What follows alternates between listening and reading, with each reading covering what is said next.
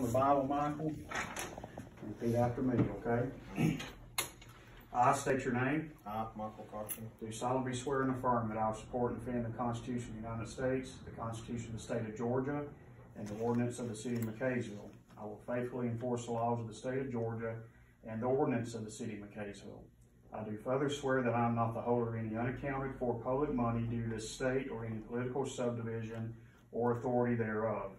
I do further swear that I do not hold any office or trust under the government of the United States, any other state, or any foreign state that I am prohibited from holding.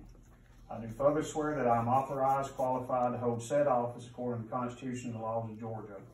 I do further swear that as a McCaysville police officer, I recognize my fundamental duty is to serve all citizens, to safeguard lives and property, and to respect the constitutional rights of all men to liberty, equality, and justice.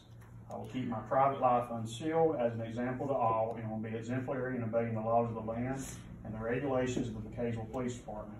I will never act officiously or permit personal feelings, prejudices, animosities, or friendships to influence my decisions.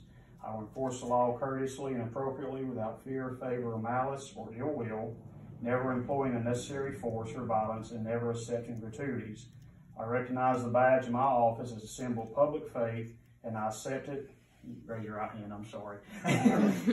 and I accept it as a public trust to be held so long as I'm true to this oath of office, so help me God. Congratulations.